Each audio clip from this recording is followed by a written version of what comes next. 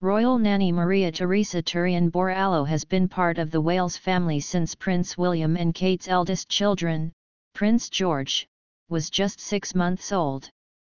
The Spanish Norland nanny, 52, has been by the family's side on every special milestone and special event, including the late Queen's funeral and King Charles and Queen Camilla's coronation.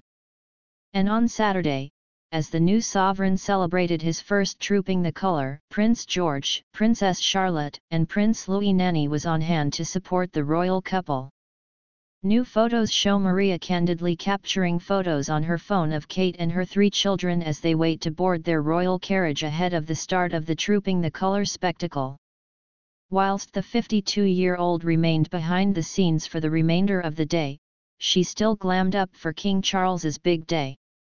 In the snaps, which were taken inside Buckingham Palace, Maria looks elegant in a dark dress which she accessorized with a cream jacket and matching fascinator hat. The outfit is incredibly similar to the one she wore during King Charles's coronation festivities.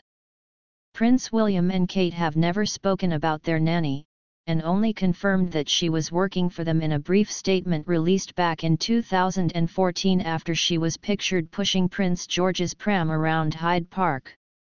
At the time, the couple confirmed Maria would join them on a royal tour to New Zealand and Australia before adding that they were delighted she had joined them. Maria has been William and Kate's official nanny since Prince George was six months old. Back in 2014, Kensington Palace confirmed her full name, before adding that she was originally from Spain and had trained at Norland College, a childcare training college in Bath. The statement added, We will not be giving further details on Maria or her employment, except to say that the Duke and Duchess are of course delighted she has chosen to join them.